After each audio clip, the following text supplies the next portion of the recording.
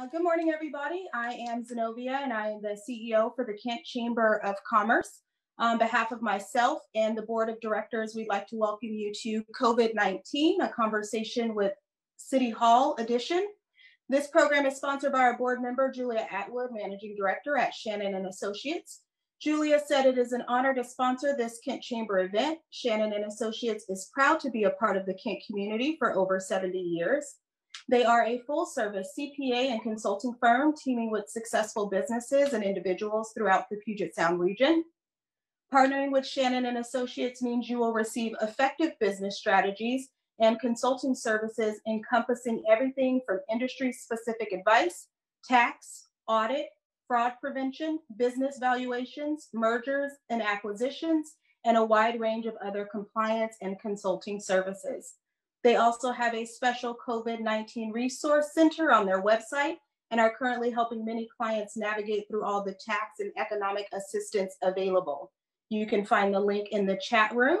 So I just want to thank Shannon and Associates for their continued commitment to the community and the chamber. This program is being recorded and live streamed on Facebook by South King Media. South King Media hosts a variety of blogs and websites, one of which is I Love Kent. We want to also thank South King Media. All participants at this time have been placed on mute and all questions should be placed in the chat either to everyone or directly to Zenobia. I'd like to take a minute before we begin to recognize the elected officials that we have on the line. I see we have Dr. Watts, Kent School District Superintendent. We have Mayor of Covington, Jeff Wagner. We have Council Member Zandria Michaud and Council Member Bill Boyce. Did I miss anyone on the line? Hey, you got the mayor Kent. Oh, imagine that, Zenobia. Yes, and of course we have uh, the wonderful Dana Ralph, uh, Mayor of Kent, who I was going to introduce because she is our guest speaker today. Any other elected Orwall, officials? Uh, Tina Orwall, state rep from the 33rd. Thank you for joining, Tina. All right, well, at this time, I'd like to welcome our guest speakers. We have our mayor, Dana Ralph, along with economic development team, Michelle Wilmot, Michelle Wilmot and Bill Ellis. So hello, you guys can go ahead and unmute yourselves. So thank you guys for taking time to speak with the business community today. We definitely appreciate your leadership during this crisis and are interested uh, in all of the updates that you have for us. So uh, Mayor, we can begin with you if you'd like. Okay, thank you. Good afternoon, everyone. Appreciate you for taking taking the time to come um, and let us um, provide you with the opportunity to kind of update what what's happening here at City Hall and throughout the city, and um, more importantly, the work that's being done to help our business community um, through all of this. So, really high level, I will start with um, Tuesday. We announced um, to our city council after many levels of conversation, um, what amounted to about a $15.7 million uh, budget cut. So remember our general fund's about 110 million. So it's a significant, a significant cut. Um, our major funding sources are sales tax and um, sales tax, property tax, and our business and occupation tax as well as things like gas tax. And so, in every single one of those categories, we're seeing a reduction in revenue. Um, we're seeing a reduction in our camera funds, um, fines, our courts not been operating. So, um, every major revenue source that the city has has has gone down. Um, we announced that we are um, losing 11 city employees as a result of this. Um, eight of them are being laid off, and there are three early retirements uh, that are happening as a result of these cuts. And then we also um, announced that our rec division in our parks department, because of the stay home, stay healthy order, and the fact that we've got um, there's a lot of uncertainty around dates of when things will be allowed, what will actually be allowed. We um, are canceling nearly all of our summer programming. So things like Splash, the Lions announced they are um, not going to be holding cornucopia days, so we won't be doing the 5K run. Um, all of our children's programs, um, both youth and adult sports leagues, all of those kind of things are happening. So in our rec division, we furloughed a majority of those employees um, and looking at a September 1 date for bringing them back. um, we also um, were required to make some, um, we did not cut any police officer positions, but we did freeze the hiring of five of them. That will continue to be the main priority and when the economy returns to bring those positions back to being available. Um, but that's, that is kind of where we're at at this point. Uh, Bill and Michelle have a, a, really good presentation on the different things that are happening out there as resources for the business community, what the city is doing, um, programs that the county has to offer, as well as the state. Um, we will be able to um, sort of tease up a program that we've got coming. I'm excited about um, some a way to um, directly financially support our business community.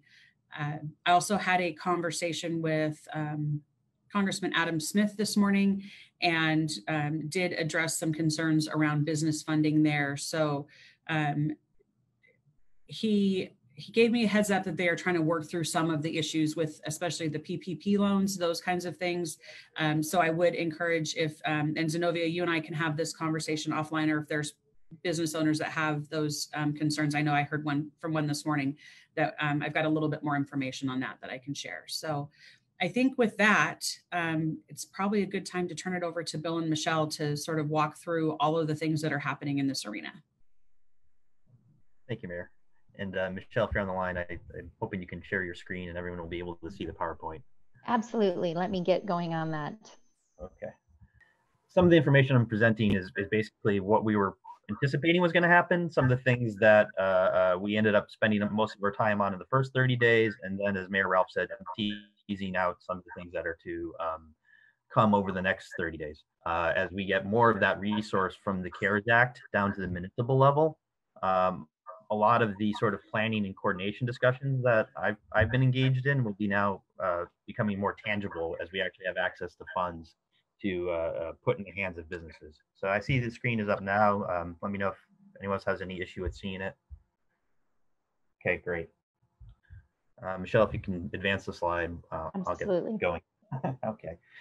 So um, bear with me. I'm going to restate what's probably the painfully obvious right now that this is an unprecedented uh, national job loss situation. Uh, I think the report is today 38.6 million people are now unemployed. Next slide, please. Um, the numbers for this week are getting better, but that's relative to uh, what's been uh, a nightmare. Uh, what you've seen in just the first two weeks was basically all the jobs lost in the Great Recession uh, in terms of weekly unemployment insurance stacked up in just a couple of weeks. Uh, actually, Michelle, if you go to the previous slide, I just want to make one more point about this. Uh, previous slide. So um, uh, yeah, you see the recession bar there in the light blue compared to those two orange lines. That those are equivalent. So uh, if you go forward again, um, two more, one more, please. Yeah. so going back as, lo long as we oh previous as long as we've had this information, uh, uh, we've collected this data uh, from the Department of Labor um, going back to the 1960s. You can see that little bar below 1 million each week. And then uh, just recently, that one spike on the far right of yours, it's, it's quite literally off the charts. And we, we risked depression, although I think the US Treasury has gotten a handle on some of the financial uh, uh, catastrophe elements. Next slide, please. Um, so one of the things I looked at early on was I compared sort of the industry of Kent, our makeup, uh, and seeing uh, who would be, how many of our jobs were uh, impacted directly by the essential orders. It was, a, it was a guesstimate based upon what the Fed Reserve did at the time. And what I came up with, 60% of the jobs were in some risk of layoff. Not that we were going to have 60% unemployed, but uh, to make the point compared to the Fed of uh, St. Louis's projection of 46 percent of the jobs were nationally high at risk. Our business mix skewed to be more at risk of uh, layoffs uh, because of the number of uh, employees we have in restaurants, bars, apparel, hotels, furniture, other types of retail, as well as wholesale, manufacturing, construction, basically industries where you cannot telework. Uh, we have a, a, a, workforce in the business space that uh, needs to work in close quarters. So um, going back to early April to now, has that borne out? Um, well, next slide, please, Michelle. What we heard, again, this is April 1 survey information here of uh, 307 respondents of uh, Kent businesses.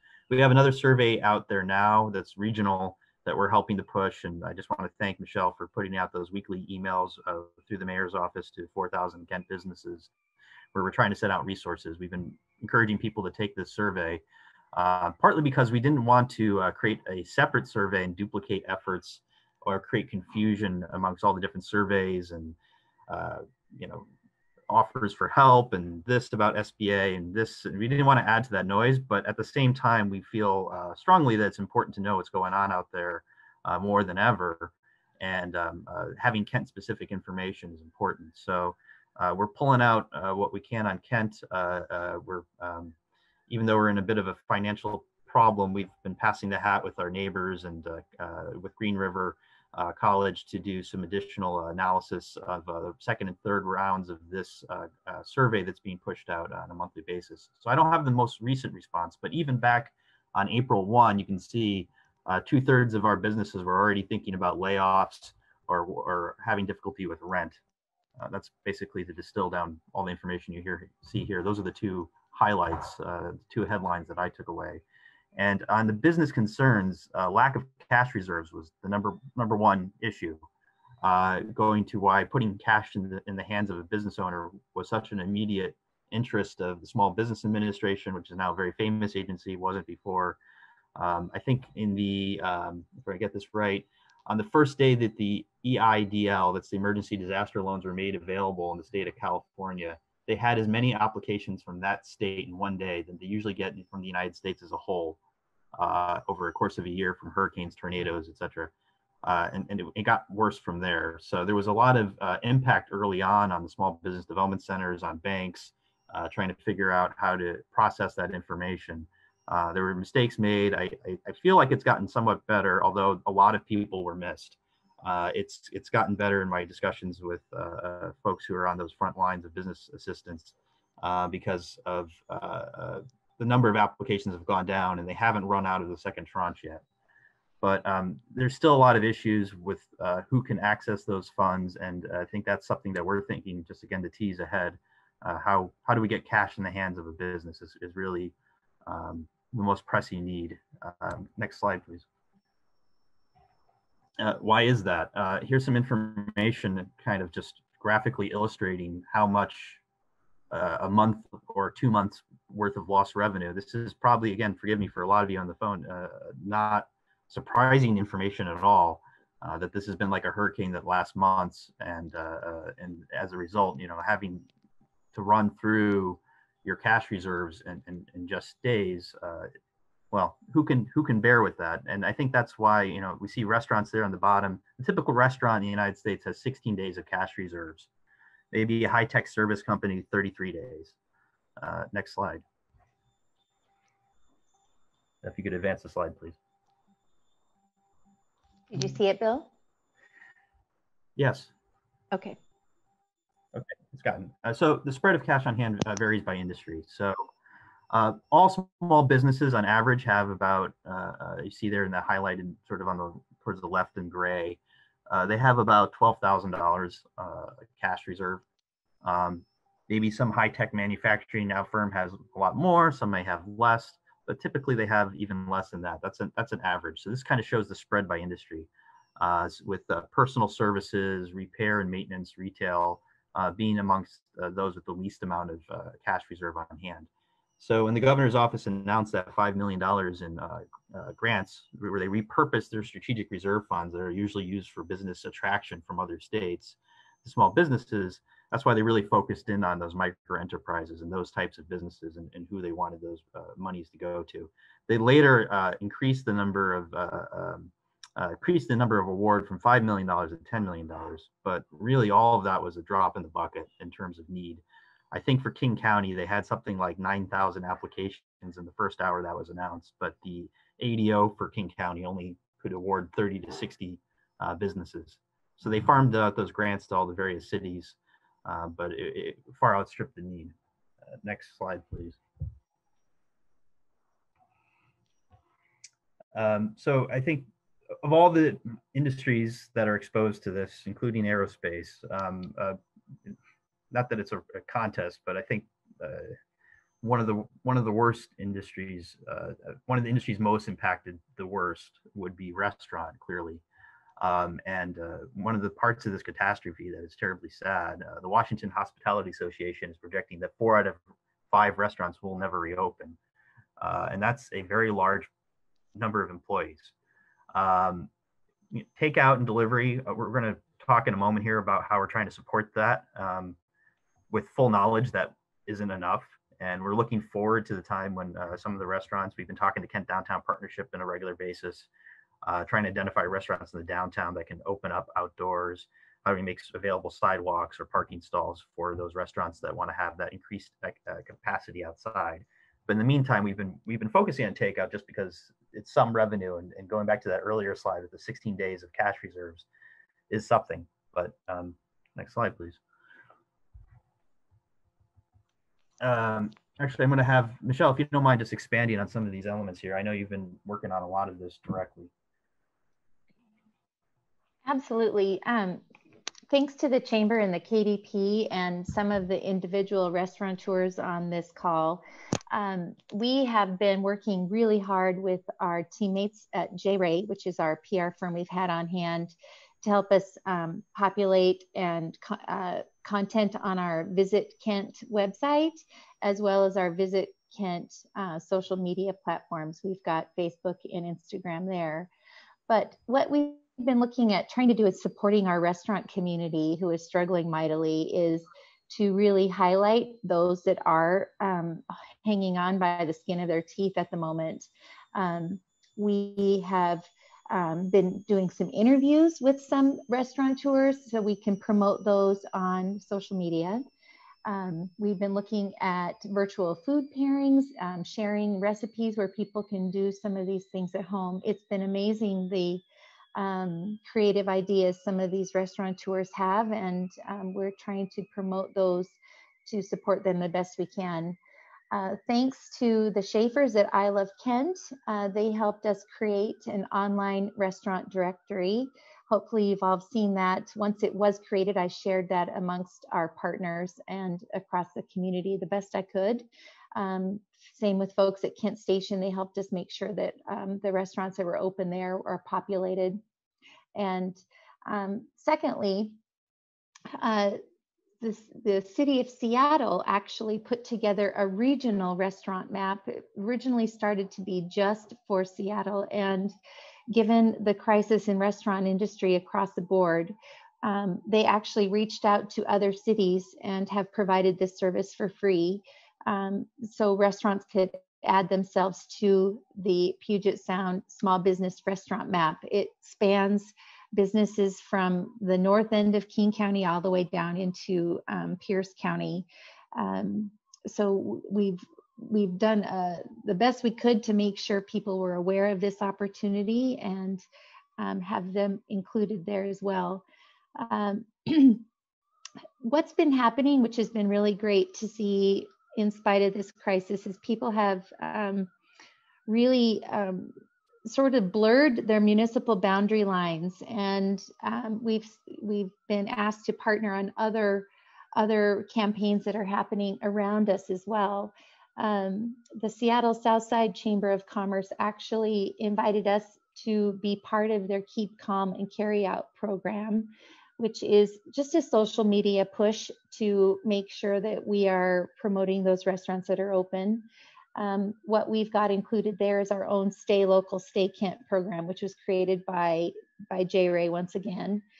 Um, another program, which I'll show you some images here on the next slide, but um, the Save Local um, program is something that our friends at the city of Tukwila um, have put together. They've got lodging tax dollars to provide this program where um, what it is is we can they're looking to push the sale of gift cards and experiences to get cash in the door now for um, use later.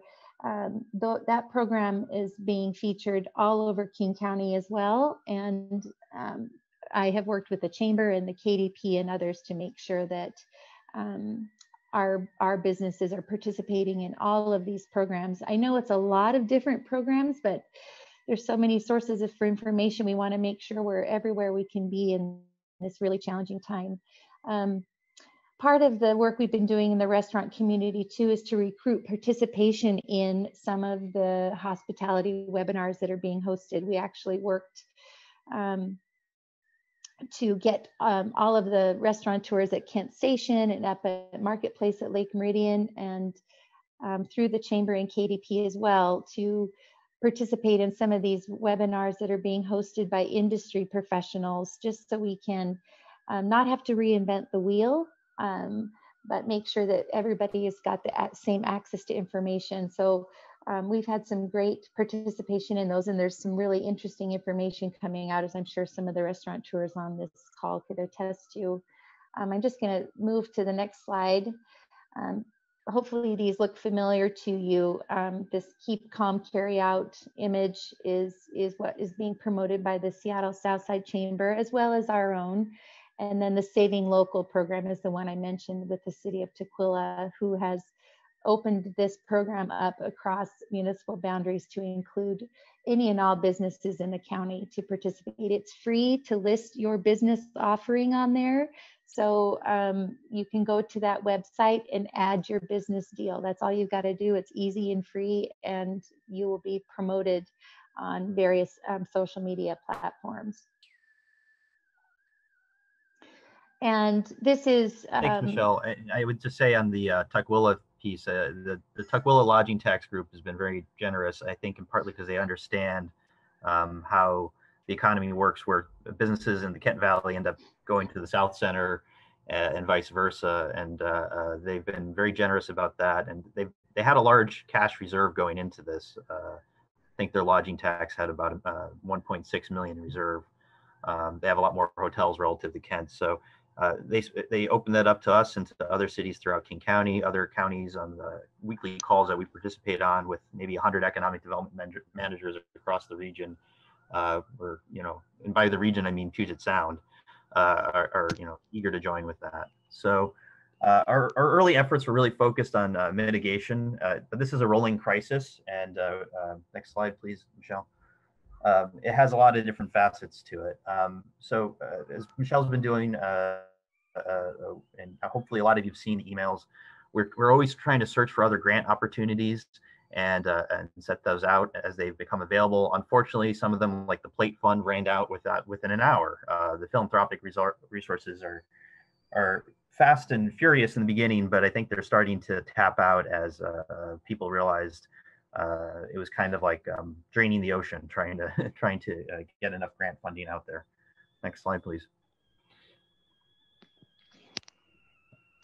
Um, the hotel industry as well. Uh, we've heard uh, locally uh, a large reduction in overnight stays. Um, I, what I do hope, and you know, I hope this isn't presumptuous, is that uh, because we are a business travel location with a lot of people that need to travel to business locations, that we will do better than say a leisure destination location in terms of recovering some of those hotel stays. That as businesses reopen, the business travel stay will come with that. Uh, whereas maybe the discretionary visit to Las Vegas or the uh, convention center uh, type of hotel night stay might recover later. So that might be an advantage for us. Uh, next slide, please.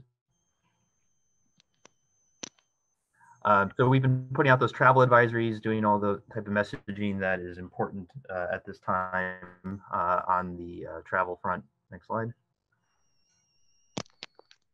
And uh, we've been pushing uh, with our partners at Green River College as well as uh, Highline College. Uh, we've been talking out there about the SBA and the importance of that. Thank you. Next slide. I'm not going to cover the SBA uh, in, in, detail now because hopefully that's something that everyone is uh, somewhat steeped in at this point. But um, the CARES Act was immensely important, I think, in terms of stabilizing the free fall uh, of the economy. And what we're really looking at now, just now, is some of the funds that were made available in that are now making their way through the processes where the city can actually uh, put them out themselves. So there's additional funding for the community development block grants. We as an entitlement city are looking at uh, some of that funding, $670,000 for business assistance. And then there's uh, a surge of funding for U.S. Economic Development Administration grants. I just uh, spoke this morning with uh, uh Matt Swenson at uh, Green River College, their grant administration staffer about grant applications that maybe the college and city could support with other partners to take advantage of that those additional funds. I've been in close communication the last uh, month and a half uh, with the Manufacturing Extension uh, Partnership, which is Impact Washington in the state. Um, they got an additional 1.2 million dollars. Uh, what they've been really focused on is creating free pro bono assessments of how to reopen your facility, your factory, uh, safely. Uh, there's no state certification at this time, but there is uh, a, whole lot of information, a lot of people hard at work at producing uh, reams of assessments, uh, checklists, uh, best practices, and then what they will do is they'll deploy their staff at no cost to a manufacturer. And by deploy, I mean someone will walk the factory on FaceTime on a cell phone and take a look at it. so, and then basically make suggestions. Uh, so what we've been brainstorming with them is to make sort of a manufacturing reoper, reopening care package. And uh, we've been working with our partners at AJAC, which is a local training center. It has a local training center in Kent that we got started. And now we're looking to uh, re-up funding using Port of Seattle dollars again this year, uh, how we can actually uh, speed resources to the employer through subsidized wage training and help some of the more vulnerable workers to layoffs and some of the more vulnerable workers get OSHA and other types of training uh, at no cost to the employer, and then actually subsidize their wages, which would actually produce create an inducement or incentive to rehire back some of those dislocated workers. Um, so we're looking at that, and that's something we're trying to leverage off, off of the outreach dollar of uh, Impact Washington. And then if there's other things that we can put in that care package, uh, we've been talking to partners about other partners about that as well, including CAMPS, the Center for Advanced Manufacturing Puget Sound. Um, Next slide, please. Uh, so really important entities right now, uh, uh, sort of I see them as the frontline workers of this disaster, uh, is the community development financial institutions. Uh, Business Impact Northwest, if you haven't heard of them already, they work in White Center. Uh, you might know of their work around Startup 425 on the east side. Um, they're a smaller outfit, but they do a variety of loan support. they've been a big SBA technical advisory group for businesses. Um, they created some great resources that we've been putting out there in emails and on the city's webpage and trying to link everywhere we can uh, to their COVID-19 business support. Um, they have a lot of referral partners. Uh, I've been talking to their uh, executive director more recently just about some of the CDBG dollars that we're receiving and how we can partner that with them uh, for the long haul. I'm also having a similar conversation right now with Craft 3, which is all over the Pacific Northwest and has major offices around here. Uh, they have a King County outreach person who uh, was under contract to work uh, later this year for King County's Communities of Opportunity program uh, to provide uh, a business a business assistance strategy to prevent uh, gentrification of dislocated businesses in, in Kent and Auburn. I think maybe the mission's changing a little bit because I was contracted prior to COVID 19 hitting, and a lot of our discussions right now have been about some of the philanthropic work that they've done uh, for JP Morgan and others to get uh, grant dollars out there, uh, not just technical assistance, but uh, uh, direct granting. And they've also done some loan programs that are really important. Um, I would say that's another sort of mid to long range conversation with them as we are looking at EDA uh, granting opportunity as a way of creating a revolving loan fund they would be a, technical uh, agency that would be really important to administrating that fund. It's not something that a city could do on its own. We don't have underwriting.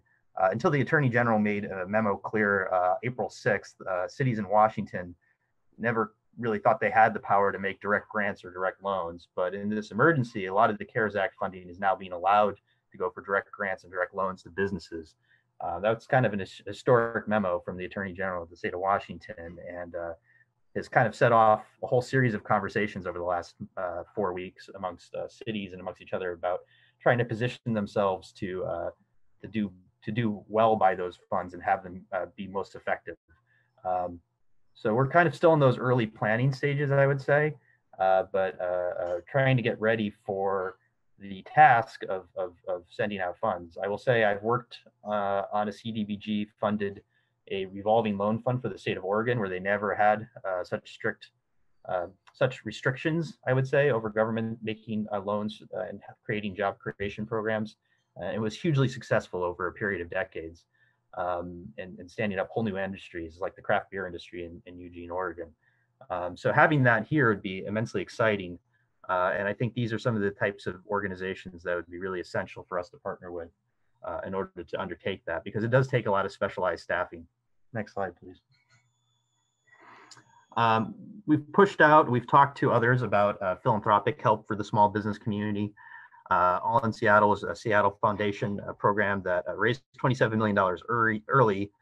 Unfortunately, I would say, you know, we tried to push that out to Kent businesses and, and there was a lot of confusion early on if Kent businesses were eligible and they were. And by that time, by the time the confusion was overridden in a few cases of businesses, they were waitlisted before the funding ran out. So um, I know that there have been other discussions about creating other philanthropic front funds outside of Seattle that don't have the name Seattle that reduce confusion. So that's something where, uh, next slide, please. Uh, we, we really need to think about. Um, so another, just a statement here. Uh, so a lot of our early discussion was about sort of how do we get creative in doing marketing online? How do we uh, push and promote the federal programs for uh, stopping uh, uh, the bleeding, so to speak, in terms of uh, EIDL loans and PPP. Um, but what are we going to be faced with over the long run here? Are we going to have a V-shaped recovery? You might have heard that, where we dive down and then we shoot right back up the moment we opened. We have this sort of long languishing in the, in the bottom here in the U. Is it an L where we just reached a new low and, and, and fear of COVID kind of just dampens economic activity forever forward? Is it a W where we keep having spikes and outbreaks and keep going back indoors and that keeps uh, shutting down the economy over and over? Uh, so we keep going down and up and down and up, or is it a Nike swoosh? Is where we kind of we have this huge contraction in GDP. We go all go backward. We all become poorer, and then we slowly dig our way out. Um, nobody knows. I think that's clear, but I would say that there's a lot of variables, and it's worth thinking about as we prepare ourselves for what comes next while we are focused on trying to get some of the immediate cash that we receive out there to, to mitigate some of the immediate pain, it isn't start too soon to begun planning for the recession period to come and what are the right tools that economic development, chambers of commerce, and others need to have in their possession uh, to be thinking about how they support recovery. So next slide. Uh, we've done a lot of discussion. We try to keep in communication daily, weekly uh, with all these variety of entities, some of which I already mentioned, like the impact of Washington. Next slide. Uh, Michelle keeps in contact with AFA and what's going on there in, in the PNWA. I, have been talking to the camps director. Um, next slide. And of course, our, our, friends here at the Kent Chamber and uh, Kent Downtown Partnership. Next slide. So um, we're probably the last county to be reopened here, the way things are going. Uh, but uh, one of the things that's really struck me, uh, even just yesterday, and uh, I hadn't planned to talk about this, but I think I, I should. Uh, a lot of different cities are looking at what Challenge Seattle, which is a group founded by Governor Gregoire, um, had created in terms of what are good operating procedures for businesses and the phases to come and then the brave new world we all enter into. Uh, they've produced these very detailed uh, new packets about that. And uh, uh I know the city of Everett for them uh, have taken on themselves to sort of simplify that and create a, a, a, guidebook, a toolkit for to advise businesses. You should have your customers stand at markers at this distance from one another, and this is what temper check, checks look like, et cetera, et cetera. Um, it's kind of funny to me that it's falling to every city though, because I think of as a, as a customer, that can be immensely confusing. And I think for businesses, it could be immensely confusing. If you're in Everett, you have a different experience than Bellevue. You have a different experience than say Auburn. Um, that's going to help. That's going to worsen the situation for the economic recovery at, at large. So, uh, speaking to the slide here uh, up at the moment, uh, so the response to the next 30 days. So I'd say a lot of what I've been talking about in, in terms of what we've been doing, looking backwards, is just trying to create new communication, participation in some of the new telework forums, the support we've we've offered to our allies at the SBDCs and CDFIs, not just direct technical assistance to the businesses, but just kind of given a lay of land of who's doing what where uh, and promotion of resources. Uh, so a lot of communication. But I think the next 30 days, and I think this is something I was just doing this morning, uh, is the first bullet there, is try to create a common technical assistance platform. We've been talking a lot with the dean uh, at Green River College, uh, Diane Chen, uh, about this and she's uh, offered to help champion this. And the city of Bellevue um, just offered up today their uh, all their web development on the tool Restart 425, which is a common platform for technical assistance on the east side. Uh, it's not that we don't have a lot of the same players working in South King County offering the same services, but what we don't have is the same level of coordination and presentation to the business community. And I think that's a real detriment to both the marketing of the of the resources and the programs, and it's a detriment to businesses because they spend a lot of time having to you know surf around to find the same information. Having one web tool that uh, uh, farms out the business and makes the referral that happens informally between agencies, but actually have that more streamlined is something that we'd like to have. And uh, uh, City of Bellevue was very generous this morning after spending, you know, tens of thousands, hundreds of thousands of dollars over a period of years in creating that. Just uh, sent it by Dropbox into my email uh, this morning. So that's that, that was nice of them. Um, we're trying to build capacity to offer and disperse funding from federal government uh, that will flow through the city. So Mayor Ralph alluded to that. I, I, don't think we have a lot of details at this stage because we've just got confirmation yesterday afternoon or evening uh, that the funding would even be made available to us. Um, so uh, but that hasn't prevented us from having at least a conversation at a city level about what are some of the legal issues at play there and how do we um, structure a program that aligns with what others have already done and trying to learn best practices from other states about some of their grant dispersal programs uh, from municipalities to uh, cities. We've heard a lot from uh, uh, Kirkland's experiences with the Google Dollar funds and from the Seattle Chamber in terms of the governor's funds. And believe me, there's a lot of lessons learned about they, the people who administered those kind of regret not having given out the money, but how they advertised it and how they they they had to process through it. It was um, sort of an overwhelming and somewhat emotional experience reading all the de- uh, desperate applications and then uh, being delayed and, and, and trying to work through it all. So uh, we were trying to do it smarter uh, and learn from some of those very recent experiences.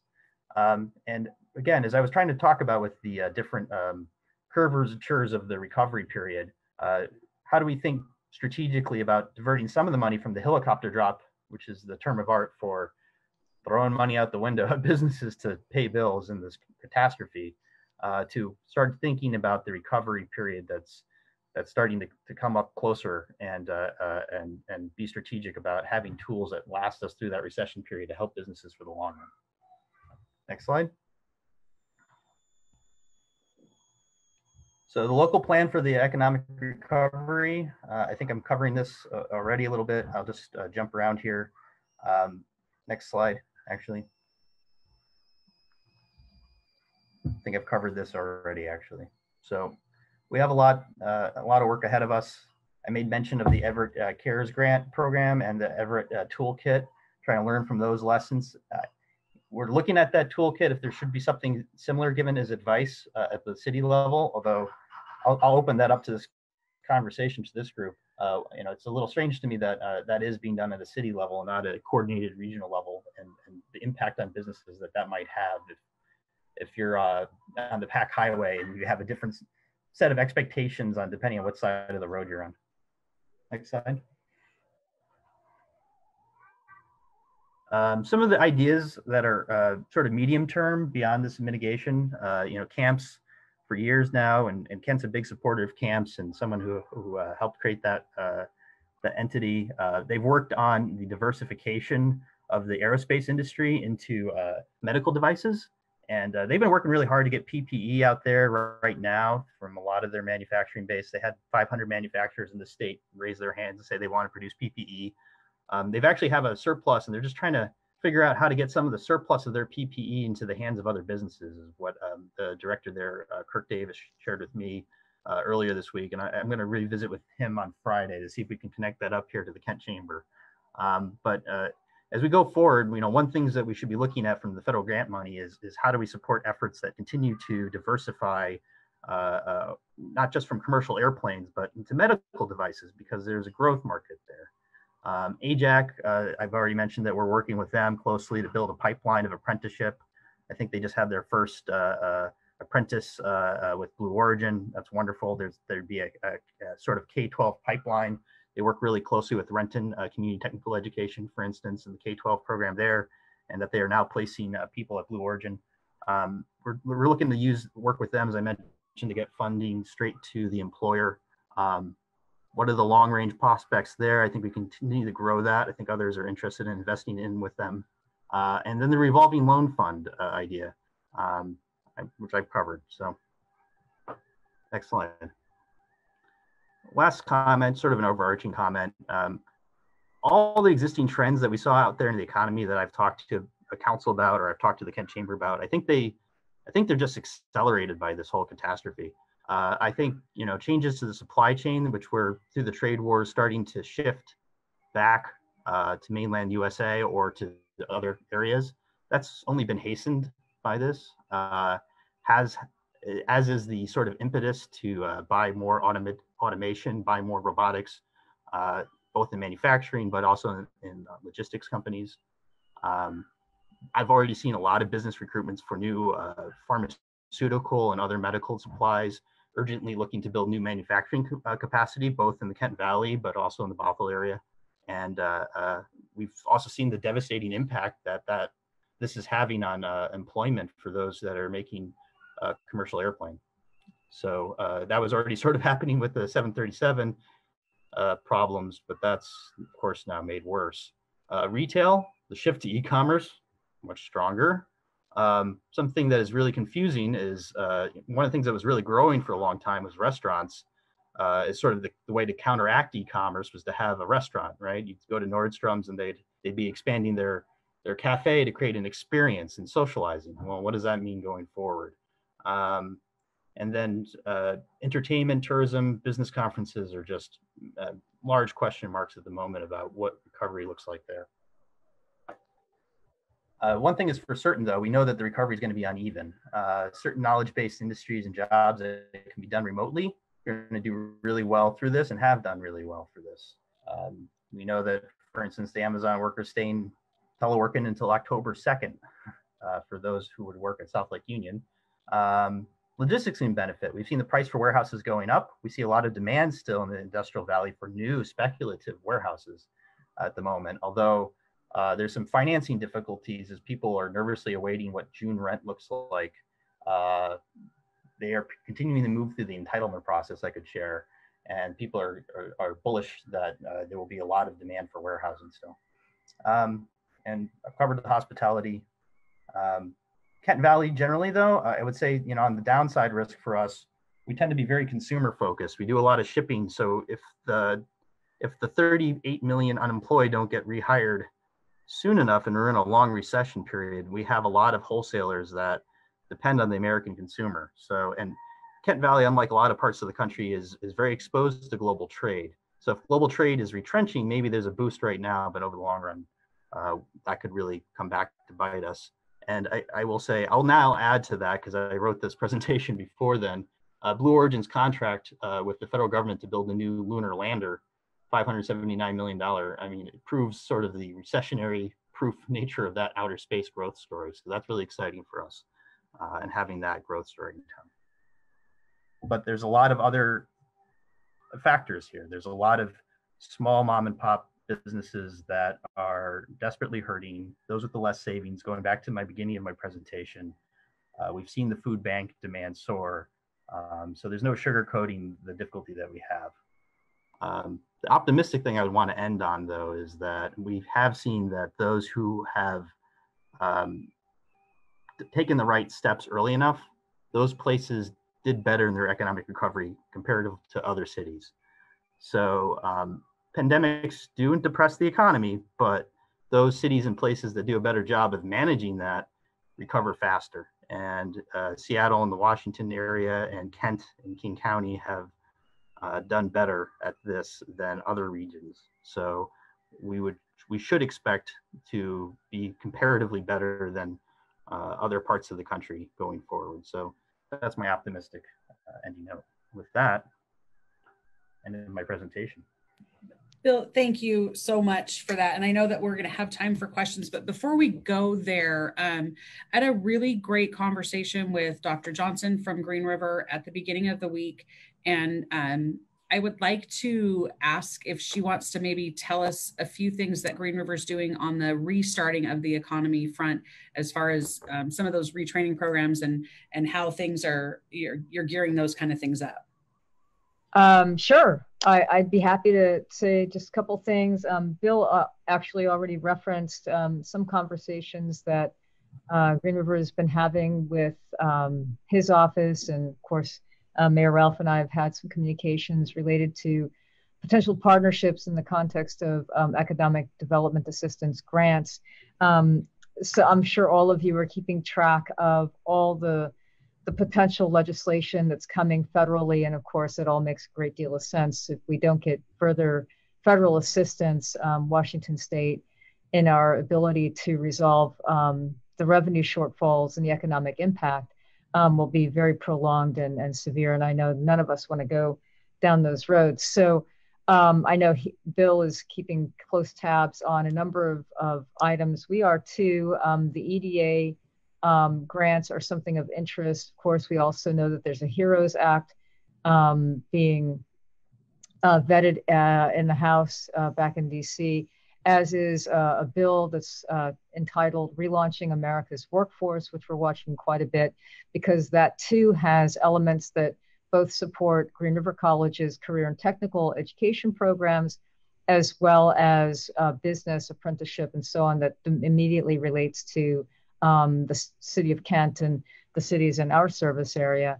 So um, we are looking for um, and watching for all kinds of opportunities for the college, but also the college's ability to partner with the city in terms of the economic recovery. I mean, in general, I think it's a, a no brainer that you all know that Green River is part of any city's recovery in the context of continuing to be the, the best education choice for anyone who's been displaced, unemployed, or because of this disruption has, has been rethinking what their career path might be, especially when you look at Bill's data around um, retail, hospitality, and so on. And the and I, I, I am really appreciative of his slides because this acceleration of automation is going to happen. It was already happening, but I think he's spot on in terms of how rapidly the automation is going to occur in terms of business industry.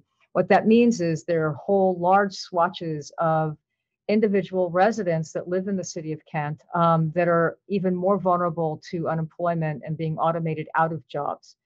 So uh, Green River is watching this very carefully, and these meetings um, are so important and informative to us to kind of anticipate what's business and industries needs and what are our um, neighbors needs in terms of being members of city of kent and living in this community what are our neighbors going to need moving forward in terms of the recovery and whatever the new economies are so um, I guess I'll just tick off a, a short list here. Um, one is we're looking for uh, and watching for and, and, sharing out when we see things. I know the city of Kent is doing the same whenever there are partnership opportunities for granting that can bring money into the city of Kent that helps um, small businesses, employees, and potential um, people who might come here for career and technical training and education, um, we're going to pursue that.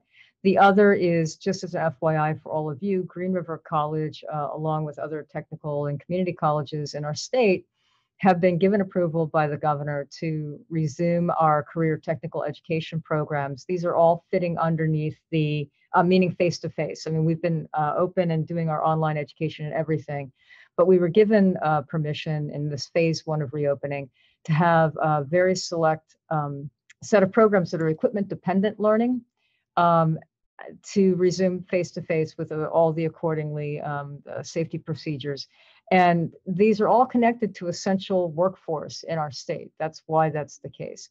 And so, uh, starting up on June 1, we will be resuming our nursing, our phlebotomy, and our uh, physical therapy uh, assistant programs in terms of face to face. And of course, all of those are in high demand.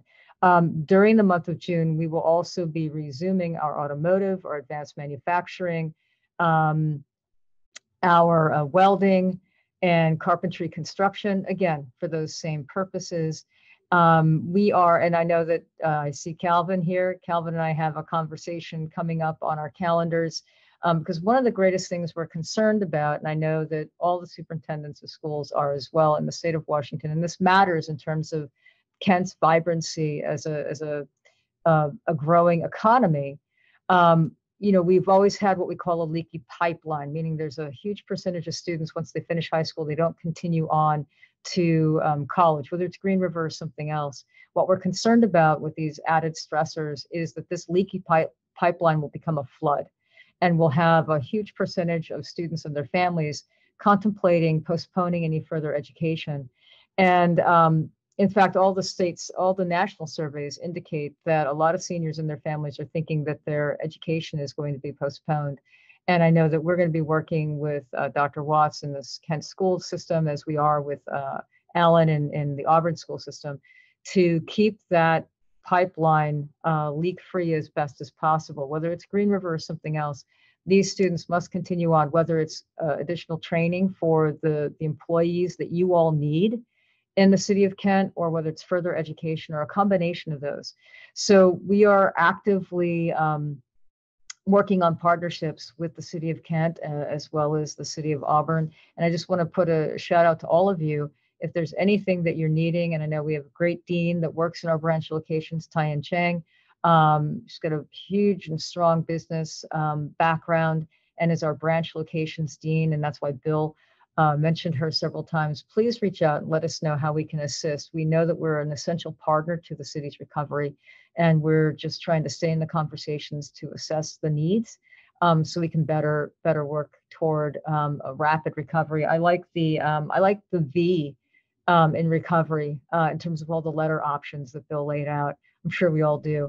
Um, and I know uh, I see Jeff there too, and I know I'm going to be part of a, an upcoming Covington uh, uh event uh, that Tyen is involved with as well. So um, if there's anything in particular, uh, Mayor Ralph, that you wanted me to say other than than these things, I'm happy to.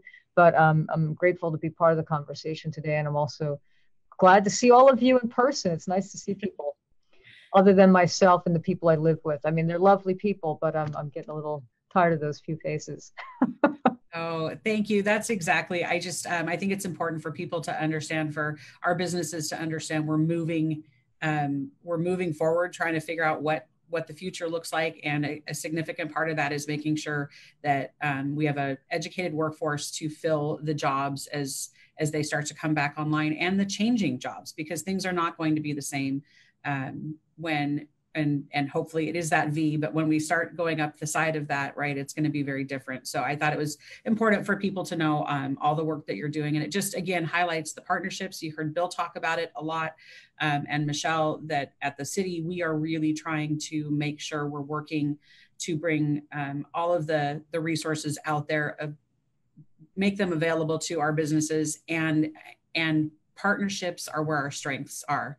Um, there's not any single organization, city, college, business um, that that can do this alone. So I think it was just important to to um, highlight those partnerships. Yeah, no, th- thank you for for allowing me a little time. I I'll add one other thing. Um, Green River, uh, along with a few other community colleges in the state, have been endorsed by the state as um, a uh, an adult re-engagement institution. And so there has been a huge surge in wanting to get that word out. And I know, and Bill, Bill and I know we've talked about this quite a lot. Kent is an area where we've got a lot of students that have some college but no completed degree.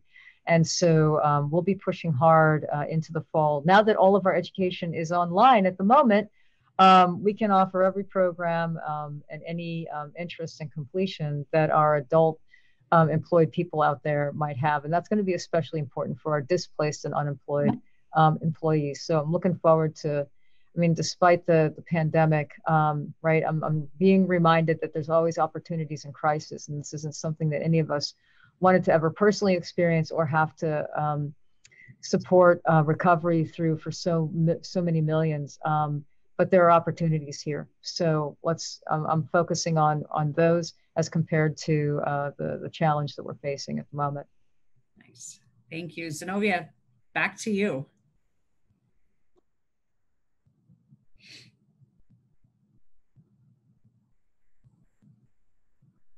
Oh, you're on mute. of course I am. There we go. I can see you talking. So, yes. All right. So just wanted to say thank you on the behalf of the business community. We know that you guys are working diligently to make sure that we can recover as a community.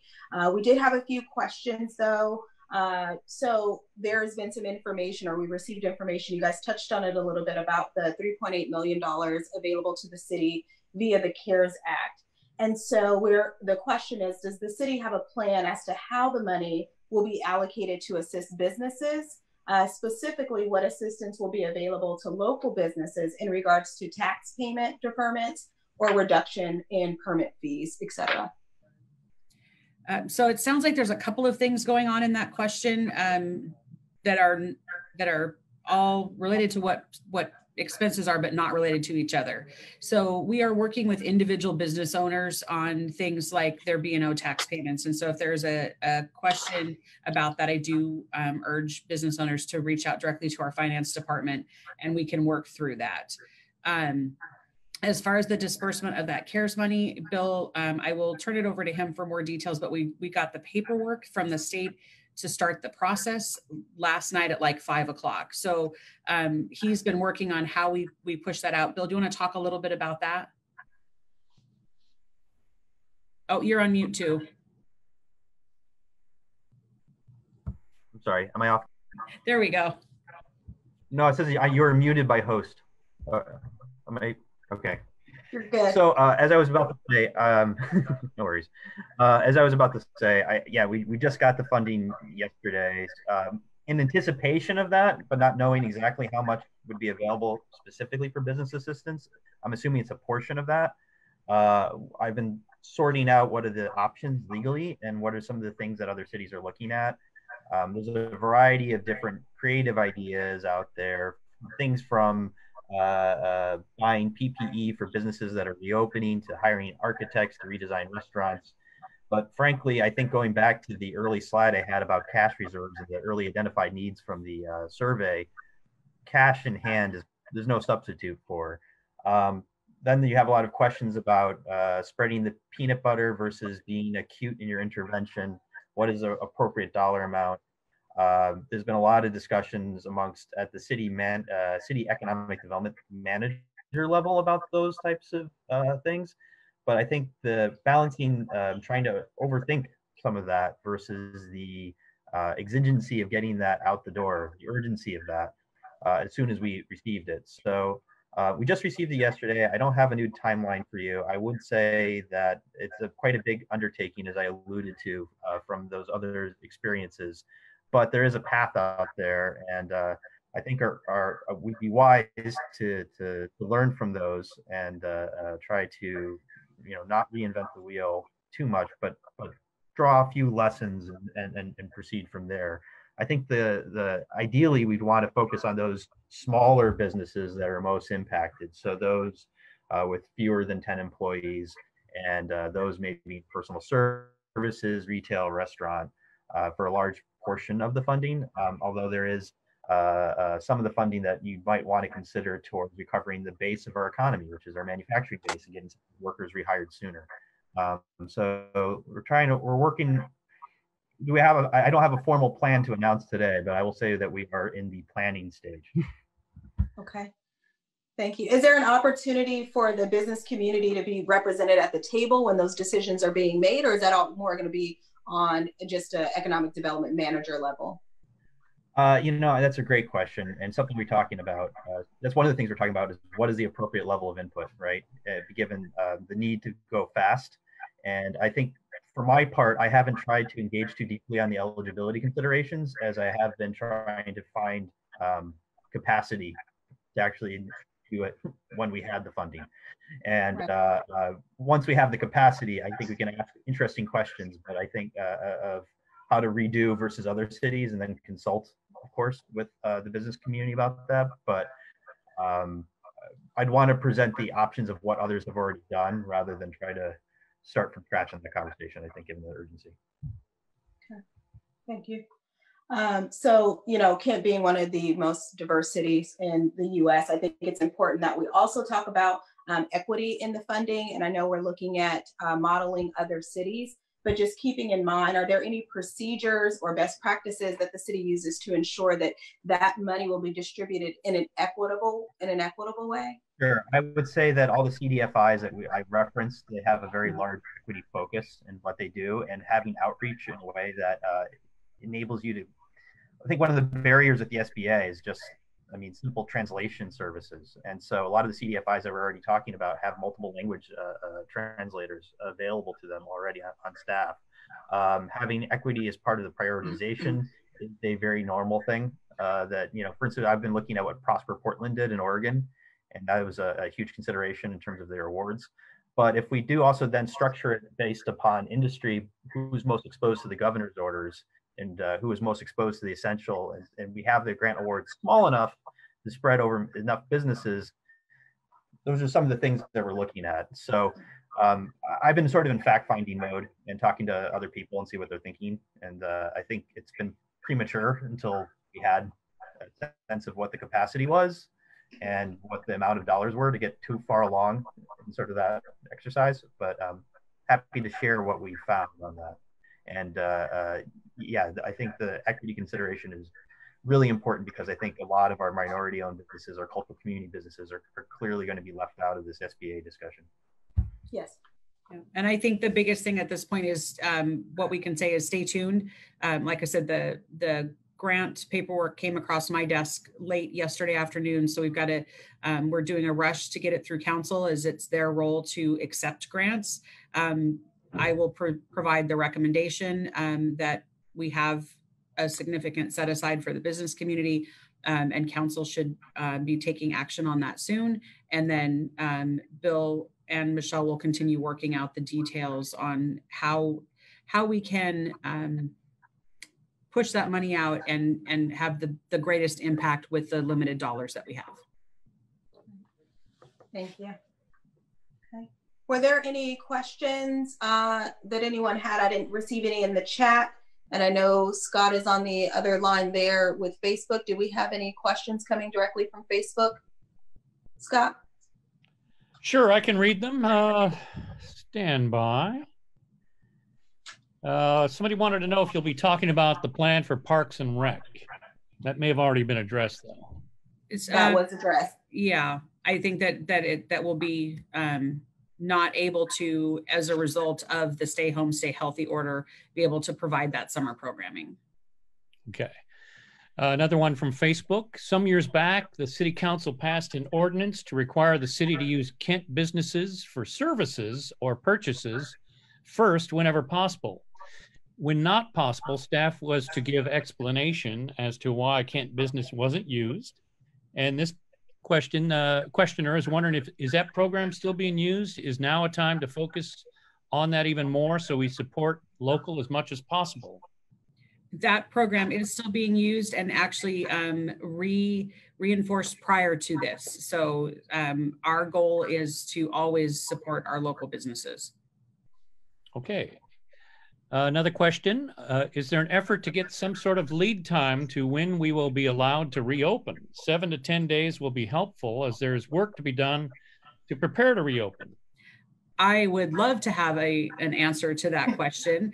Um, the, at, the city level, um, I am on a weekly call with the governor's office, but that does not provide us with any advance notice on the decision making process, unfortunately.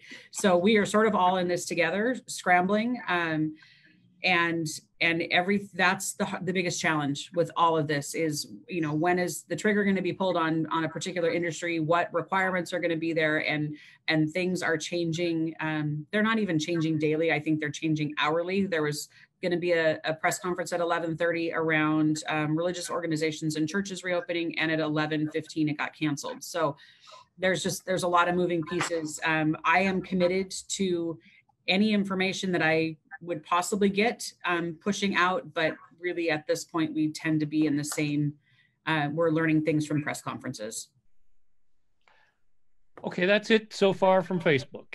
Okay, I see a, a question um, here about CARES money going to support nonprofits providing um, to feed people. Separate buckets of money there. Um, we will continue to work with organizations on making sure that we're funneling money there. Um, some of that um, through maybe the CBDG dollars, um, and then directly from the CARES Act money. So the city of Kent doesn't get any of that money um, directly. It goes from the federal government to the state. The city of Seattle, because they are a, f- a 500,000 and above population, got direct funding. And I think that's caused I know that's caused some confusion um, on, and I get those questions. Well, how come the city is not doing anything? We have not been included in any of that um, that aid from the federal government to this point. So the money that we are getting now is actually come um, through the state.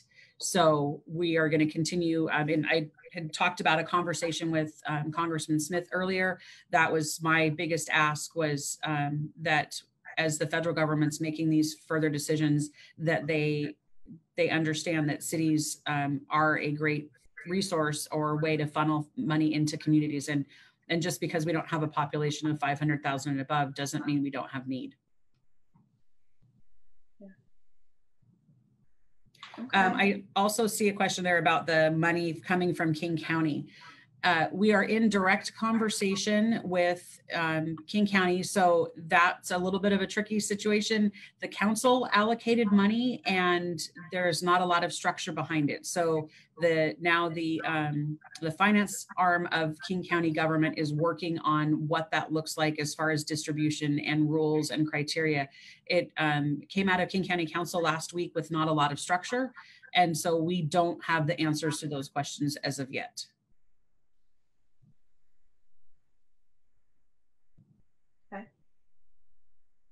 There was something in the chat about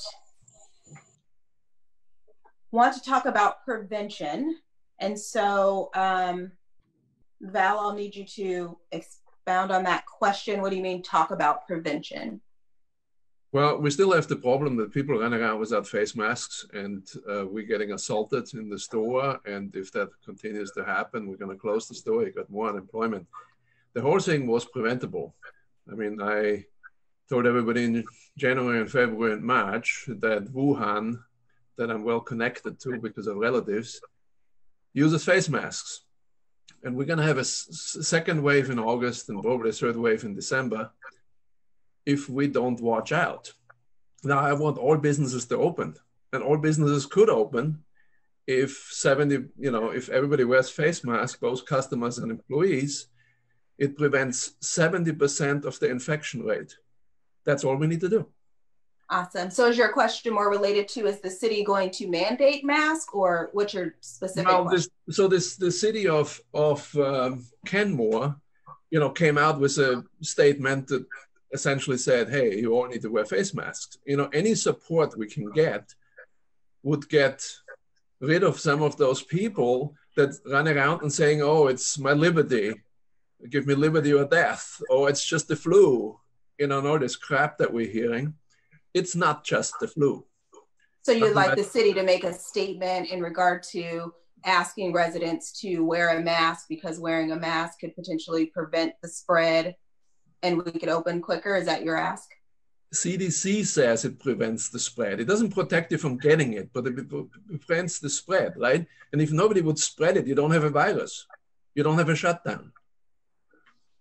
So the city of Kent um, is under the direction of King County Public Health, and they have issued that request. Um, it, it is a request. Uh, there is not an enforcement side of that, and we will continue to um, work with the county on pushing that message out. Okay. Thank you. Okay, so that's really um, all the questions we have. Again, the, the business community is so appreciative of uh, the work that you're doing. I know that we have a few people on the line today that I think it's important to hear from them. We talked a little bit about human services. I mean, and we all know with the unemployment rate the way that it is, uh, you know, there are uh, people uh, or organizations on the ground doing the work. And so I do want to give some uh, opportunity for Brenda Farwell to be able to speak about what uh, the Human Services Committee um, community is doing to assist with that. And then while we have Dr. Watts on the phone, I would like to get uh, like a high level overview of the school district and what's going on there. So when you are able, Dr. Watts, can you go ahead and give us an overview? Thank you uh, again for uh, hosting this uh, incredibly informative uh, event to City of Kent, to mayor and officials and supporting cast uh, we can't do this work by ourselves. We know that. And one of the areas that, that we're sharing in, in uh, Kent School District is this reality. Uh, if, if it had ever been questioned the impact of public education in this country uh, that it can have or should have on a community. Now it is uh, it is it is clearly uh, obvious. Now we have been asked uh, by our governor, by our state uh, superintendent Reykdal, to do no harm. And by doing no harm, we want to make sure that we're providing resources to support the needs, especially our core business of teaching and learning. What does that mean? That means that we are providing meal service. Uh, just to give you a high level view, we have and continue to serve breakfast and lunch. We will not be serving uh, meals. And we, we push that communication out uh, over Memorial Day holiday, uh, but we will continue serve meals, breakfast and lunch, uh, 18 to now 20 sites. Uh, we have partnered with outside agencies and to date, from March 17th, with Mark, Mark, the first day that we were serving meals, to May 18th, we have served uh, 478,862 meals to our children in Kent School District. Uh, we have also been charged with providing childcare to our first responders. That includes our healthcare providers, our essential workers. Uh, we've partnered with our YMCA of Kent and Auburn. And from as of May 3rd to the 9th, uh, we have provided opportunities for 132 children to be uh, taken care of so that their families can go to work and remain gainfully employed as was made painfully uh, and uh, painfully obvious uh, of the need to, to remain gainfully employed. Uh, as we are in this current state, no Kent School District staff members are providing child care services. These are all uh, due to partnerships with champions, uh, again, with the, the YMCA and local agencies. Our core business of teaching and learning certainly does not take a back seat. Since uh, the closure began March 16th, we have continued uh, to provide uh, differentiated instruction, accessibility. Uh, we've provided what, what we now know, and I think people have often said that we're all in the same boat in this, this current crisis, and that is not exactly true what we've learned is that we're all on the same sea, but we are all in different boats. And the the Zenobia, you mentioned equity, uh, one of our core values, uh, which is doing our best to provide the needs to to those who need it when they need it. And we've learned that those needs are are disparate.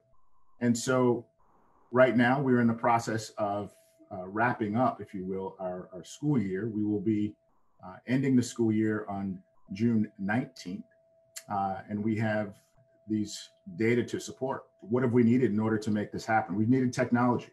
Uh, fortunately, through the voter approved tech levies, we thank our voting public to support our infrastructure, uh, not only our, as well as our digital devices.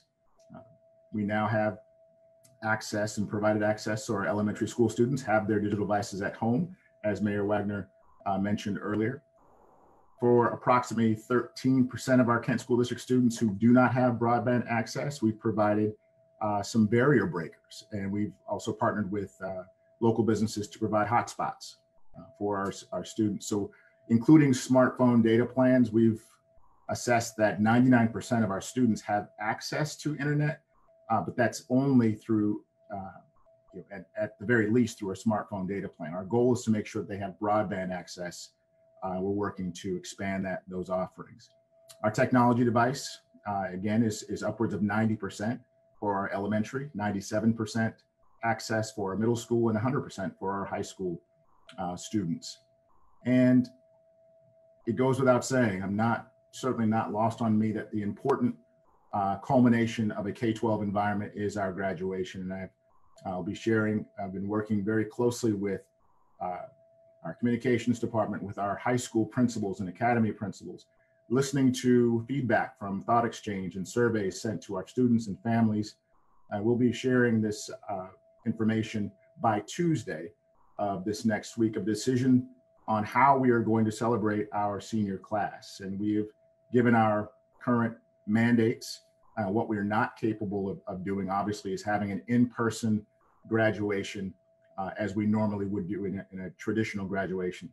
We will have options uh, that will be made available, uh, and I will be sharing that uh, as soon as is humanly possible, waiting for additional feedback from our, our students and our staff and our families. Uh, that said, these are incredibly challenging times.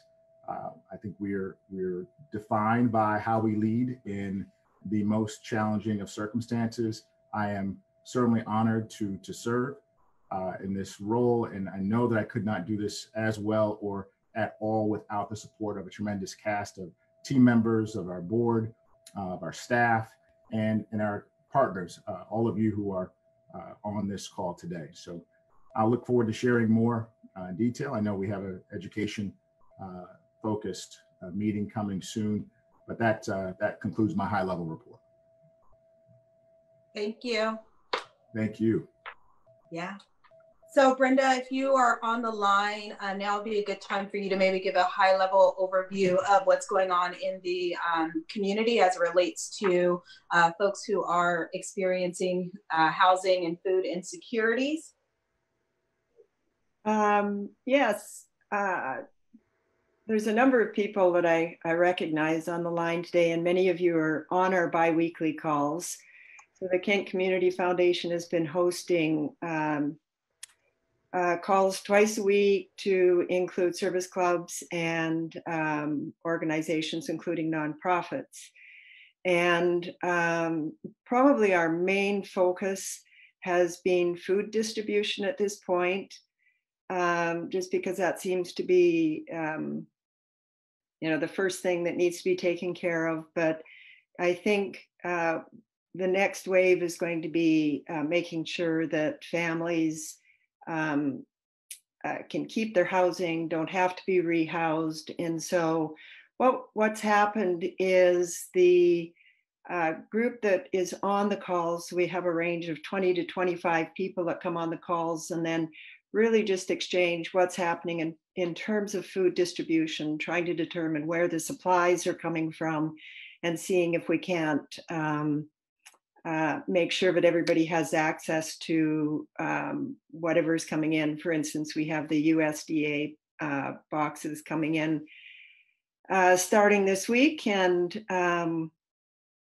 I think that uh, through our group that we've got well over 3,000 boxes that are being distributed to families uh, in addition to what the school district is doing, I think they're they're uh, more than matching that amount as well. So, just finding avenues for uh, supporting our families in need uh, through the conversations that we have on our bi biweekly calls. I think it's been uh, amazing to watch the um, the collaborative efforts that have taken place as a result of these conversations.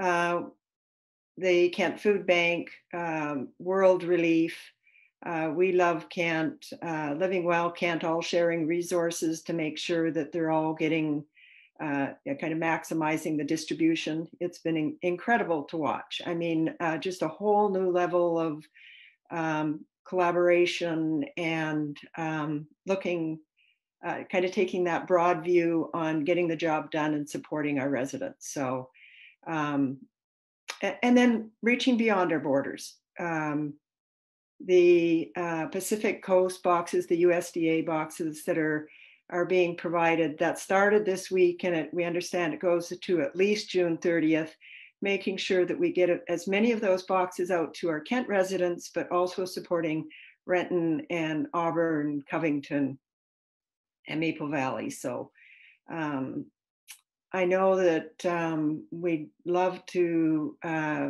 continue to collaborate. Um, we have a, for instance, the Kent uh, or the Kent Community Foundation has their scholarship event coming up and I think it would be really interesting to have conversations about um, making sure that we're we're letting our students know what the options are for um, uh, ed- education locally, because I think that's going to change for many students. They may have committed to a um, uh, a college across across the country, and that may not be realistic for them now. So lots of opportunity for collaboration and couldn't be more appreciative of all the wonderful things that are being done by the organizations in our community.